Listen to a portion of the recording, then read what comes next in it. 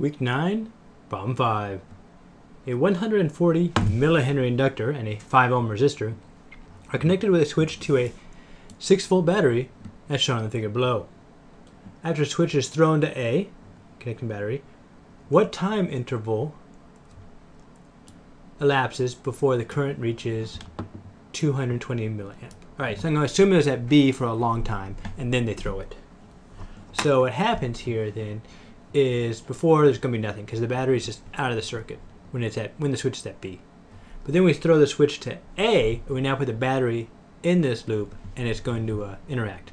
So what's going to happen is there's going to be initially the inductor, like the water wheel, is going to oppose the flow of current. Then the water wheel starts spinning, the uh, inductor starts building up a counter EMF. Mm, I'm not entirely sure. Eventually, the current starts flowing through the inductor, and eventually it's going to build up to its maximum current. So we look at this in a picture form, and I'll draw the picture down here. Click. So we're going to have, ah, I grow wary of you, green. Back to blue. Good old blue. So we're going to have current, we're going to have time, and it's going to build up to its maximum current. At which point the inductor will offer no resistance to flow. I'm to call this I naught. Oop, I naught. Right there. That's where it's, that's where it's at. All right. So what they're saying then is they want us to find um, when we're at 220 milliamps. So I don't know what that is as a proportion of its total current. So first thing I'm going to do is I'm going to find an equation that describes this um, this graph. So I don't really know what it is, but I know it's going to be like one of a couple. So we're going to have current equals initial current, and it's going to build up. So I think it's going to be 1 minus e to negative t over tau. Nope. Nope, don't like you. You can go away. Draw a little bit better t. There we go, t for time.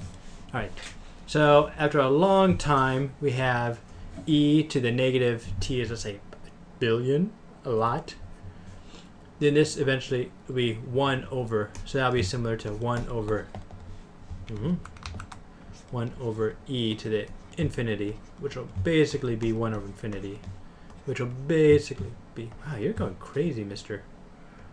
Basically be 0. So eventually this goes away, and we get 1 times maximum current, which the maximum current is then just going to be the maximum current. And it's trying to build up to its maximum current, so this makes sense. So this is going to be the, the correct equation. The other equation that we use is the e to the negative t over tau. Now this is the one where um, uh, this is an exponential decay. The other one is exponential growth. And whatever the word is. One's a capacitor or inductor or whatnot building up. The other one is it um, building down or decaying away. Alright, so we know, we don't know what the maximum current is, but we can find it. So the maximum current is going to be when the inductor is offering no resistance. So if we pretended the inductor wasn't there, then we would have current equals um, the voltage over the resistance. Okay, we can do that. So we're going to have 6 divided by 5. Which will give us like, I don't know, 1.2? Is that 1.2? 1.2. Bam. Yes. All right. Equals 1.2 amps. Got it. Okay? Okay.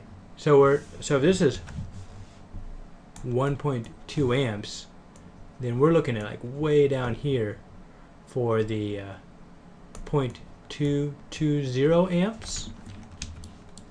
Right, because a milliamp is just 0.220 or 0.22 amps. Okay? So we want to know what this time is. We also need to find tau. So tau equals L over R, which is, we got this, 140 times 10 to the negative third. So I'm going to call that 0.140 divided by, was it 5 amps? 5, 5 ohms? I think that's 5 ohms. 5 ohms. 1.4 divided by 5.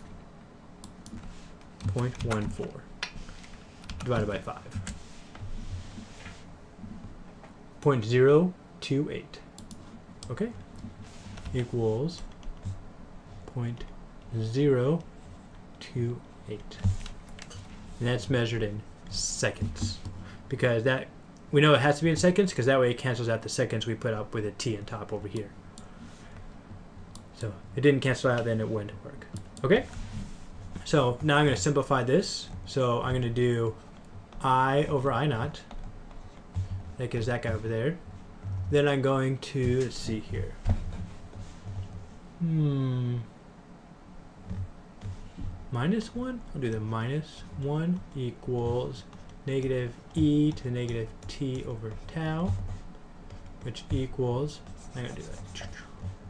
1 minus i over i naught. Does that kind of work?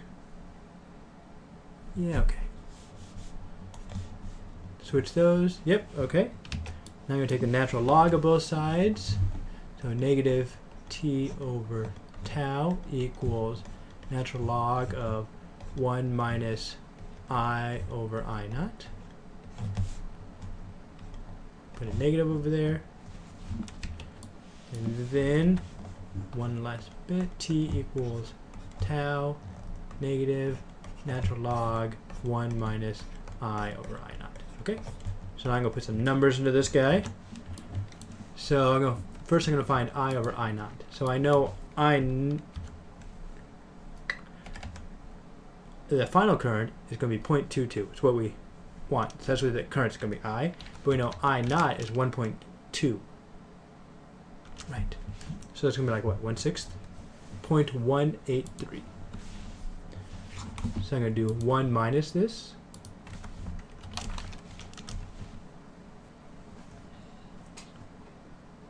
Okay, so 0.82. I'm going to call it 0.82 equals negative tau natural log of 0.82. Alright, so we know that when we're taking a natural log of a number that's smaller than 1, we're going to get a negative number, which is going to make the other negative cancel, which is good, which means we won't get a negative time, which is reasonable. Natural log of, and I might as well multiply by tau right now. We know that tau is 0.028. 0.028 times. Bam. Put all I could just done that at the beginning and get a negative number, which I'm going to then make a positive number. So they probably want it in what, milliseconds? Milliseconds. So I'll multiply by a thousand. Multiply by 1,000. Bam, I got it. 5.67. And I just left a negative out, so I was going to put it back in now, which makes it double negative, and done. 5.67 milliseconds. So not long. Not long is the um, big answer. What is the current in the inductor 10 seconds after the switch is closed? I'm not even going to bother answering this one. I'm just going to be like, it's at the top. It's maximized. Because 10 seconds is a long time in inductor's lifespan. So I'm going to say 1.2 amps. Okay, I'll actually figure this out. Maybe. Hmm. Alright, so then we're going to have, so looking up here, so we have current equals this times that. So I'm going to do 1.2 times, which is the, um, the maximum current, I naught, times 1 minus e to the quantity uh, t, which is 10 seconds, divided by, what do we say, 0.028, 0.028, close parentheses, close parentheses. So what happens is this basically goes to 0. Whoa! I did not mean to get, oh, negative. Did I put a negative in there? There's supposed to be, yeah, negative. Bam! So it goes from goes from 1.2 to 1.2 and a bunch of zeros. So for this guy right there, 1.2 amps. Bam. 10 seconds. Psh. Now the switch is quickly thrown from A to B. What time in- interval elapses before the current in the inductor falls to 160 milliamps? Okay, so now they're going the exact opposite direction. Boom. Man. So, same equation. We even have the same resistor, so I don't even have to recalculate tau, which is convenient, and I appreciate it. Thank you. Oh, start up here. Our I naught, which is the same, because the inductor opposes a change in current. And so this will be time. And right here, right there, I'm going to say that is, what are we at? 160 milliamps. 160 milliamps. This is 1.2 amps. Okay. I'll just change that to 0.16 amps. There we go. Alright, so the equation we're going to use for this guy then is the other equation. I equals I naught e to the negative t over tau. So as this gets as t gets bigger, this goes to zero. So in this case, we're going to have one. Oh, I need to solve it.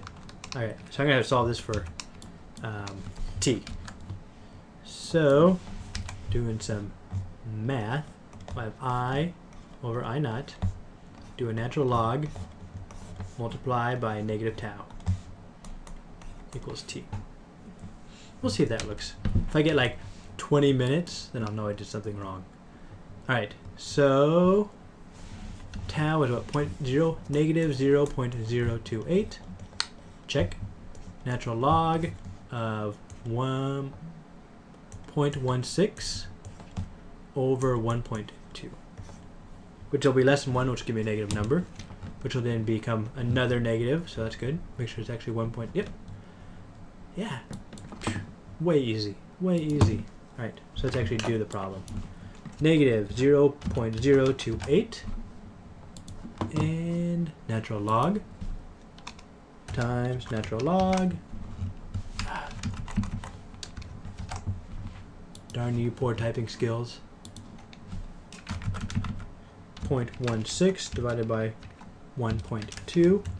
And we have, I could just read the answer. Why did I? Ah, too ambitious. 0.056. I'll multiply by a thousand. That'll give me milliseconds. Could I just could have just read it again. Fifty-six point four. Bam. Here.